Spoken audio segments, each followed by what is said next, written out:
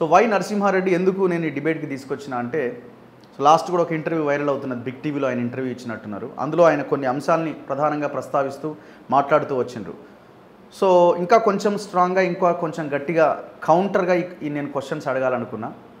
And that ఆయన కొడంగల్ ప్రాంతానికి చెందిన వ్యక్తి బయట కూడా కొంత రేవంత్ రెడ్డి రెడ్డికి సమర్థిస్తుంటారు వాళ్ళతో టచ్లో ఉంటారన్న ఒక చర్చ కూడా ఉంది కాబట్టి నేను తన్ని కూర్చోబెట్టి మాట్లాడుతున్నా. నమస్తే. ఎస్ కొడంగల్ వ్యక్తి ఫార్మా కంపెనీలో నా కుటుంబానికి ఆరు ఎకరాలు పోతుంది. ఎవరిది? నాది. మీద? నాది. ఓ. ఆరు ఎకరాలు పోతుందా? మా అన్న కొడుకు రెండు ఎకరాలు ఇంకో వంది రెండు ఎకరాలు మా అమ్మది రెండు ఎకరాలు. మదర్ రెండు ఎకరాలు పోతుంది. మూడు ఎకరాలు. మీ అమ్మది రెండు ఎకరాలు మీ అక్కది మూడు ఎకరాలు? మా అన్న కొడుకుల ఇద్దరి రెండు రెండు ఎకరాలు. రెండు రెండు టోటల్ నైన్ ఎకర్స్ తొమ్మిది ఎకరాలు పోతుందా? ఎకరాలు నాది పోతుంది. కంపెనీలో. ఓ. ఇంకోటి రఘు మీరు స్టార్టింగ్లో ఫార్మా అన్నారు. అసలు రాష్ట్రం మొత్తాన్ని టీఆర్ఎస్ పార్టీ తప్పుదోవ పట్టిస్తుంది. లగచర్ల హకింపేట్ పోలేపల్లిలో ఫార్మా రావట్లేదు.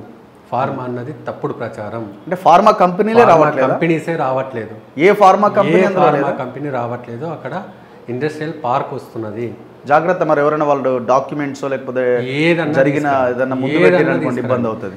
సీఎం గారు ఫస్ట్ మీటింగ్లో కోటంగల్కు నాలుగు వేల కోట్ల చిల్లర బడ్జెట్ వచ్చిన రోజు రిలీజ్ చేసిన రోజు కోజ్గిల మీటింగ్ పెట్టేసి గ్రీన్ ఫార్మా వస్తుంది అని చెప్పి చెప్పారు.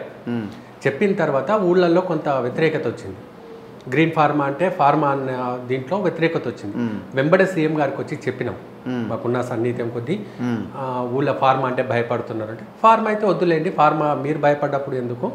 అవసరం లేదు ఇండస్ట్రియల్ పార్క్ పెట్టేద్దాం అక్కడ. టెక్స్టైల్ పార్క్ ఇలాంటి వాటిని పెట్టేస్తే మంచి మంచి ఉద్యోగాలు వస్తుంటాయి చాలా మందికి ఉద్యోగాలు వెళ్తుంది. సో ఫార్మా అనేది లేదు. అంటే ఒక్క కంపెనీ కూడా. ఒక్క కంపెనీ కూడా ఫార్మా వెనక చివరలో ఎక్కడ ఎక్కడ? మొత్తం పదమూడు వందల యాభై ఎకరాలు ఒకటే బిట్టు ఆ పదమూడు వందల యాభై ఎకరాలలోనే ఇంటర్ కాలేజ్ వస్తుంది ఐటీఐ కాలేజ్ వస్తుంది హాస్పిటల్ వస్తుంది ఆర్మీ కోచింగ్ సెంటర్ వస్తుంది దాంట్లోనే. ఒక క్యాంపస్ వస్తుంది ఎయిత్ టు ఇంటర్ క్యాంపస్ వస్తుంది. ఇవన్నీ కూడా పదమూడు వందల ఎకరాల్లోనే ఏది ఏ కాంగ్రెస్ లీడర్ అడ్రస్ చేస్తలేడే? ఏ అధికార ప్రతినిధి ఫార్మా ఇండస్ట్రీ రావట్లేదు ఎందుకు ఫార్మా అంటున్నారని చెప్పట్లేదే? ఇక కాంగ్రెస్ భట్టి విక్రమార్క ప్రెస్ మీట్ పెట్టి ఇంకా ఒకరిద్దరు మంత్రులు ప్రెస్ మీట్ పెట్టి ఎవరు చెప్పట్లేదే? ఎస్ ఫస్ట్ ఆఫ్ ఆల్ ఇది కాంగ్రెస్ పార్టీ.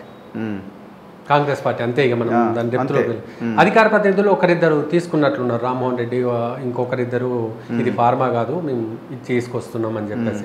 బట్ ఫార్మా అన్న దానికి ఎక్కువ ప్రచారం జరుగుతున్నది. ఇప్పుడు పదమూడు వందల యాభై కాకుండా ఇంకేమన్నా తీసుకొని ఫార్మా పెట్టాలనుకుంటున్నారా? ఎక్కడా లేదు. పదమూడు వందల యాభై కొడంగల్ నియోజకవర్గంలోనే నో ఎక్కడ? No pharma. ముచ్చింతల దగ్గర ఏదో వస్తున్నట్లుంది. అది లాస్ట్ గవర్నమెంటే తీసుకుంది ల్యాండ్ అక్కడ. నేను నేను కొడంగల్కే లగచర్ర హకింపేట్ పోలేపల్లికే. కొడంగల్ ఒక ఫార్మా క్లస్టర్ కింద పదమూడు వందల యాభై ఎకరాలు అన్నది టోటల్ తప్పుడు ప్రచారం అది. అసలు ఫార్మా అన్నది చెప్తున్నా నేను సీఎంతో ఈ ఇష్యూలో ముప్పై సార్లు కూర్చున్నా. ఈ డిసెంబర్ నుంచి ఈ రోజు దాకా కొందరిని మా ఊరు వాళ్ళని తీసుకొచ్చి లోకల్ కా లగచర్ల వాళ్ళని పోలేపల్లి వాళ్ళని తీసుకొచ్చి ముప్పై మీటింగ్స్ చేసిన నేను సీఎం తోటి ఈ ఒక్క ఇష్యూలో.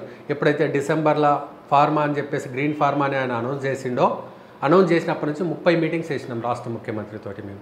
ఒక్కొక్క మీటింగ్లో ఒక్కొక్క క్లారిటీ ఇచ్చారు. మనం ఒకటి క్లియర్ చేసుకొని ఊళ్ళలోకి వెళ్తే ఊళ్ళో రైతులు ఇంకొక అనుమానం సరే మీరు సరే ముఖ్యమంత్రిని కలవచ్చు మీ భూమి కూడా పోతుండొచ్చు ఇంకోటి ఇంకోటి కావచ్చు. ఓకే. సో మిమ్మల్ని కూడా ఏమైనా తప్పుదో పట్టిస్తున్నారేమో? గ్రీన్ ఫార్మా అనేది అన్నారు కదా మీరు స్టార్టింగ్లో? ఎస్ సో గ్రీన్ ఫార్మా సంబంధించిన కంపెనీలు ఏమైనా తీసుకొస్తున్నారేమో? ఎస్ ఆన్ రికార్డ్ సీఎం మాకు అందరు కూర్చోబెట్టి చెప్పి మేము చెప్పాము నువ్వు ఫార్మా తీసుకొస్తే మేము అడ్డం ఉండాల్సి వస్తుంది. ఎందుకంటే ఊరు వాళ్ళు వద్దంటున్నారు అంటే నాకేం నా సొంత నియోజకవర్గంలో వద్దంటే పొల్యూషన్ నేనెందుకు తీసుకొస్తాను నాకేం అవసరం ఉంది? ఆ విలేజెస్ నువ్వు నమ్మవు రఘు ఇప్పటికీ బొంబాయికి బస్సు పోతుంది మా దగ్గర. అవును వాస్తవమే అది. బొంబాయి పుణేకు వలసలు వలసలు విసిరి కొట్టినట్లు కర్ణాటక బార్డర్లో ఉంటాం మేము. అవును. మాకు ఒక చెరువు ఒక కాలువ ఉండదు మాకు అసలు. వాటర్ ఫెసిలిటీస్ ఉండదు అసలు. ఓన్లీ బోర్ల మీద వర్షాల మీద ఆధారపడి మేము బతకాల్సిన అవసరం ఉన్నది. మీరు మా వెళ్ళి ఒక వంద మంది హైదరాబాద్ వస్తే అరవై డెబ్బై మంది బిల్డింగ్ల కింద మట్టి మోస్తుంటారు గంపలు మోస్తుంటారు. సో అన్ని రకాలుగా మేము వెనకబడి ఉన్నాం. మేము ఎక్కడా డెవలప్మెంట్ లేదు మాకు రోడ్లు ఉండవు ఏవి ఉండవు. లాస్ట్ ఫైవ్ ఇయర్స్ ఇంకా దారుణంగా. మీదే ఊరు? హకీంపేట్ హకీంపేట్. హకీంపేట్. సో మీ ఊర్లో ఎన్ని ఎకరాలు పోతున్నది? నా ఊర్లో టోటల్ సిక్స్ హండ్రెడ్ ఎకర్స్ పోతుంది. Five hundred five fifty to six hundred మధ్యలో పోతుంది. నా ఊర్లో ఏంటంటే మూడు వందల డెబ్బై ఎకరాలు అసైన్ భూమి. మూడు వందల డెబ్బై. మూడు వందల డెబ్బై ఎకరాలు అసైన్ భూమి. ఇంకోటి నా ఊరికి వచ్చిన ప్రాబ్లం ఏంటంటే లగచర్ల భూమి పోతుంది. మాక్సిమం రైతులు నా ఊరు వాళ్ళు అంటే ఊరు మాది. విలే- రెవెన్యూ విలేజ్. మాత్రం అంటే ఊరు బార్డర్లో వాళ్ళకి భూములు ఉన్నాయి కాబట్టి వాళ్ళు లగచర్ల కిందకి వాళ్ళ భూములు వస్తున్నాయి. అంటే ఈ మూడు గ్రామాల్లో హయ్యెస్ట్ నష్టపోతుంది హయ్యెస్ట్గా రైతుల భూములు పోతుంది హకీంపేట నుంచి. హకీంపేట నుంచే భూములు పోతున్నాయి. సో అందుకే నా మీద కొంత ప్రెషర్ ఎక్కువ. ఓకే నన్ను కూడా చాలా సార్లు ఊళ్ళో మీటింగ్ పెట్టుకొని నన్ను పిలిచారు. నేను మీటింగ్ దగ్గరికి వెళ్ళిన వాళ్ళ అనుమానాలు అన్నీ అడిగినరు. నేను అన్నీ వచ్చేసి ఏం వాళ్ళు ఒక్కొక్క ఫస్ట్ వాళ్ళు ఫార్మ్ అవుద్ది అన్నారు. సరే ఫార్మ్ అవద్దు మనం ఇండస్ట్రియల్ పార్క్ తీసుకొద్దాం. టెక్స్టైల్ పార్క్ లాంటివి పెట్టి పెట్టేద్దామని చెప్పిండు. టెక్స్టైల్ పార్క్ కొంత ల్యాండ్ ఏదో ఆ పార్క్ కంపెనీలతో ఏదో మాట్లాడుతున్నాడు. అది జరుగుతుంది.